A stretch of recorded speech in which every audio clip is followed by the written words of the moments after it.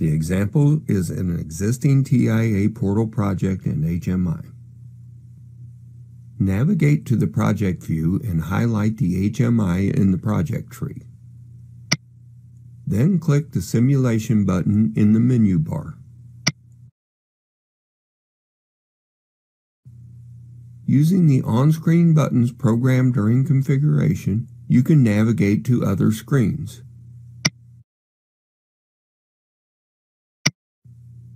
You can also navigate by the button bar at the bottom of the screen, which was also programmed during configuration. In this case, a home button was configured which will return you to the start screen. From here, you can navigate to the system screens defined during configuration. Let's take a quick tour of the system screens available for this HMI.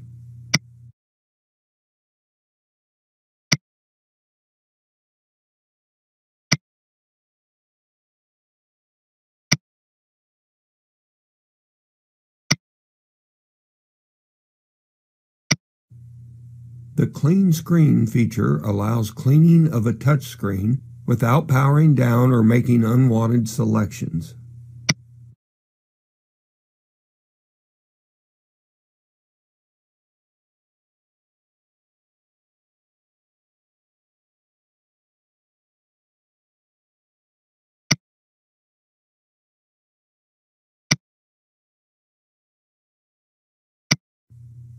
The user administration window requires a login that is accomplished with the on-screen keyboard.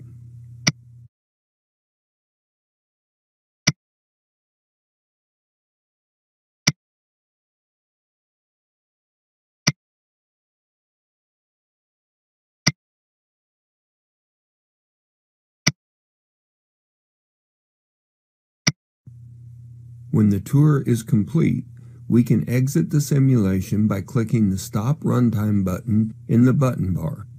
Take note that the simulation feature not only allows simulation of the HMI to test navigation, it is also a fully functional runtime application and can be used to control both simulated PLC CPUs as well as hardware CPUs and components over Fieldbus.